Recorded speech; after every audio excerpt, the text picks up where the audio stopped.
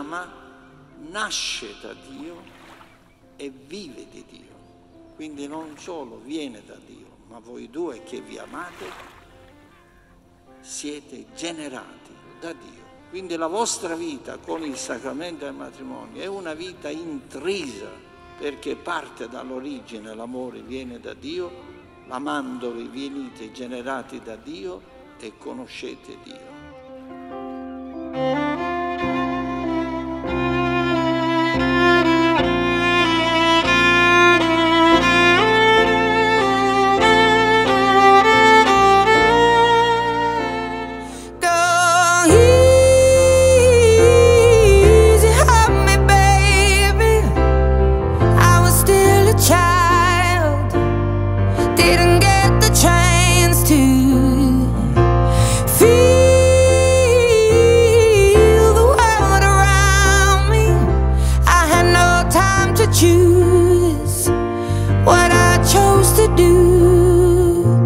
So go easy on me.